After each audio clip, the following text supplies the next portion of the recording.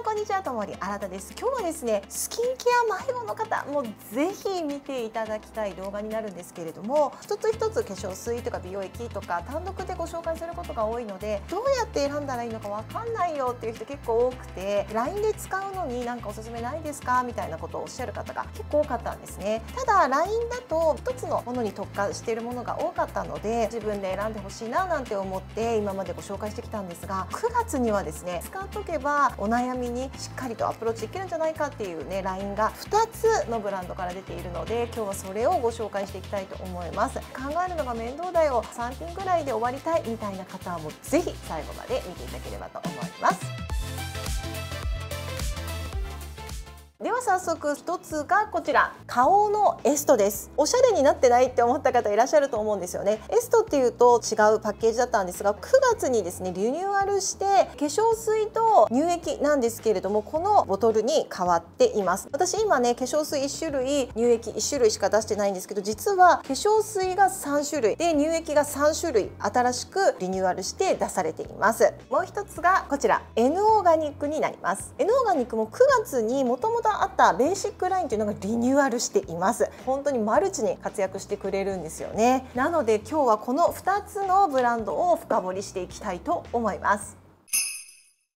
まず肌がどうやって老化していくかっていうことなんですが個々のね悩み乾燥とかいろいろねシミとかシワとかあると思うんですがまず肌がそういうトラブルが起こる時っていうのは炎症が起こっていて酸化しちゃう。この2つがまずメインで起こってきます。これによって肌荒れが起こったりとか、まあ、シミが起こったりとかたるみが起こったりっていうようなことになっていくのでまずは炎症と酸化を抑えるっていうところが大きなベースになってくるんですね。それを独自の成分でやってくれているのがノーガニックになります。まず炎症なんですが抗炎症の成分っていうのはたくさんあると思うんですよ。例えばアラントインとかグリチルリチンとかいろいろあると思うんですがそもそもこういう抗炎症のものっていうのは炎症性の物質が出たものを広がらないようにするっていう考え方なんですね。ただやっぱりこの炎症の成分を出さないようにするっていう風にした方がまずはいいじゃないですか。なのでそれを考えて行き着いたのが黄膜エキスっていうものになります。黄膜エキスっていうものの主成分はベルベリンっていうものになります。ベルベリンっていうのがですね炎症性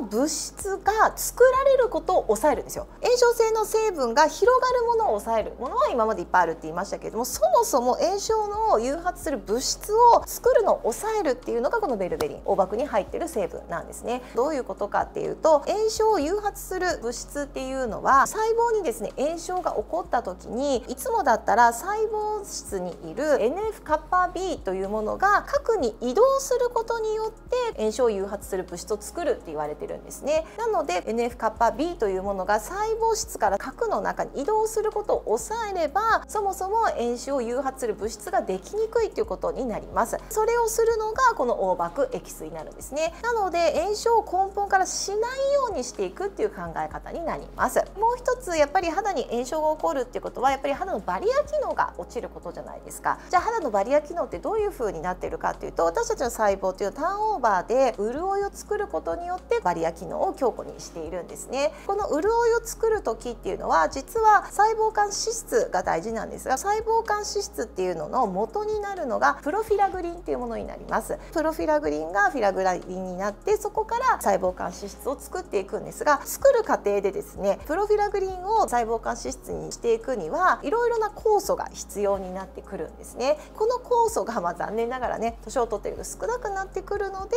だんだんだんだん細胞間脂質を作られにくくなって、まあ、潤いが低下しちゃってバリア機能が低下しちゃうっていうことになるのでプロフィラグリンがちゃんと細胞間脂質になるように酵素を後押しするのが大々エキスというものになります。この橙エキスがプロフィラグリンから細胞間脂質になるように段階を踏んでいくことによってバリア機能が整ってこれもまあ炎症を抑える一つになってくるんですね。面白いことにさっきの黄膜のエキスを入れるとですね大がフラグリンを作るものをさらにサポートしてくれるらしいんですね。最強のタッグらしいんですけどもこれを入れることによって炎症を抑えていくっていうところになります。もう一つですねやっぱり酸化を抑える一番の成分っていうのはやっぱりねビタミン C ですよね。今回はあの美容液の方に3種類のビタミン C が入っているんですがいつも言うのがビタミン C ってアンパンマンみたいなやつで酸化した細胞に自分のね顔を渡してその人を元気にしてあげるんですがアンパンマンもいっぱい顔顔食べさせちゃうと元気がなくなっちゃうようにビタミン C っていうのは酸化から守る代わりに自分がすぐ酸化しちゃうんですね。でも体の中って酸化しちゃったビタミン C を還元って言って元に戻す作用っていうのが備わっています。要はアンパンマンが顔がなくなっちゃったらジャムおじさんがまた新しい顔を作ってくれるっていうのと同じように体の中にもそういう成分っていうのがあるんですね。それが DHA 還元酵素っていうものになります。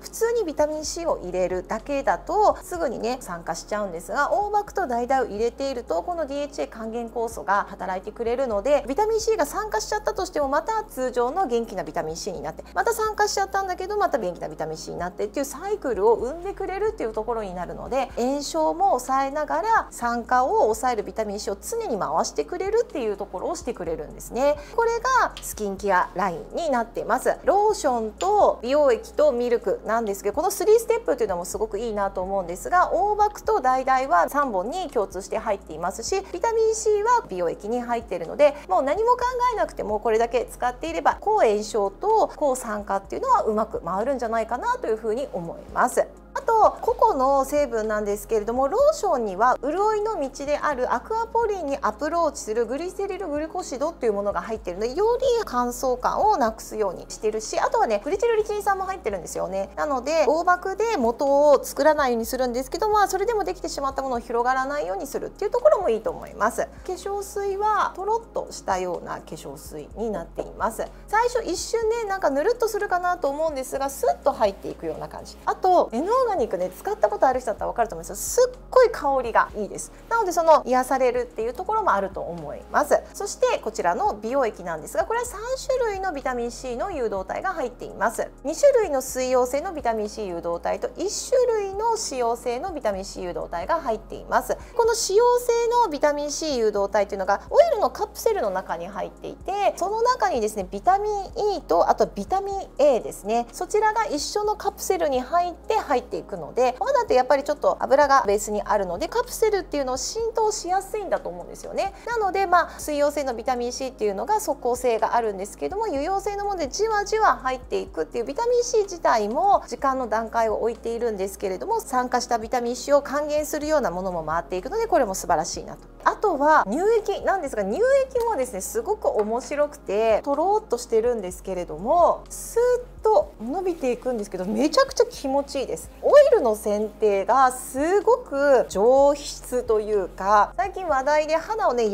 らかくしてくれるって言われているマカデミアンナッツ脂肪酸フィトステリエルっていうようなオイルも入っていてただそれっていっぱい入れると結構ベタついたりもするんですがこれのまあ多分量を調整してたりあと他のねオイル系っていうのもしっかり入れているので潤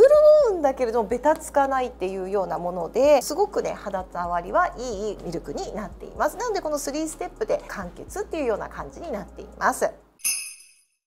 続いてはエストなんですがまたねエストはすごいですよ。さっきのが抗炎症と抗酸化だったんですが今回そこにですね抗糖化っていうことをアプローチしているのがエストになります。糖化っていうと黄ぐすみの原因っていうイメージだと思うんですがやっぱ日本人って黄色人種って言われてるだけあってやっぱりね黄ぐすみが起こりやすいんですよね。それだけじゃなくってやっぱりその糖化をすることによって酸化も進むし炎症も進むって言われてるのでやっぱり肌悩みをアプローチするためには糖化もすごく大事で今まで糖化をアプローチするっていうものが結構あったんですが糖化って何が悪いかっていうと AGES っていう最終糖化産物っていうものができるから木くすみが起こったりとか炎症とかね酸化が起きるよって言われてたんですね。なのでこの AGES を除去するようなものを今までアプローチあったんですが実はこの AGES にも種類があるんですね。種類によってより肌をくすませたりとかっていうことがあるんですよ。じゃあどういう区分かっていうと非蛍光性の AGES っていうのと蛍光性の AGES ADS っていうのがあるんですが今まではそれを区別することができなかったんですが花王さんはですねそれを区別するっていうことをして特に蛍光性の AGES っていうのがより肌のくす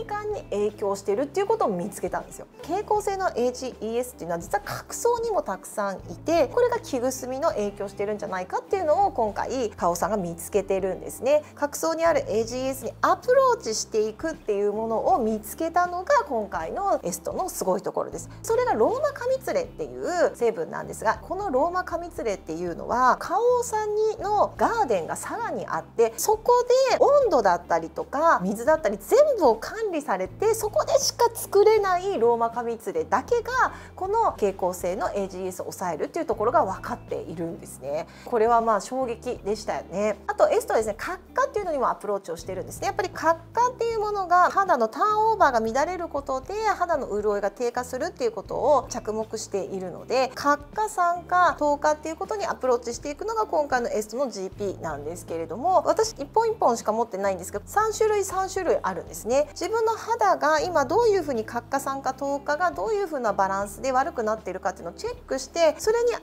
たセラムを3種類の中から1つ乳液を3種類の中から1つっていう風に選ばれるんですよ。成分も多少変わるんですけどテクスチャーが全部違うんですよ。なのでテクスチャーをも浸透もより自分に合ったものを選べるんですよね。これってすごいことだなと思います。なので化粧水も3つ全然違うし乳液も全然違うんですね。2つで終わらせてもいいしまあ間に好きな美容液も入れてもいいと思うんですが自分に合った化粧水と乳液を使うだけでもうそれでも肌のねお悩みがまるっと大丈夫ですよっていうのが今回のエストのコンセプトになるんですよ。めちゃくちゃこれはすごいなっていう風に思いました。なので自分がどれ選んでいいかわかんないっていう人はやっぱりカウンターに行ってあの相談していただければ選べるっていう形になっています。めちゃくちゃすごいですよね。例えばローションは K と T と S っていうタイプが3つあるんですが K と T はですね更新とオイル処方っていうもので美容成分を細かくしてそれを角層まで深く浸浸透させるっていう顔独自のオイルイン処方がされていますしもう一つの S っていうタイプには伸縮性の薄膜密着処方っていうものがあって凹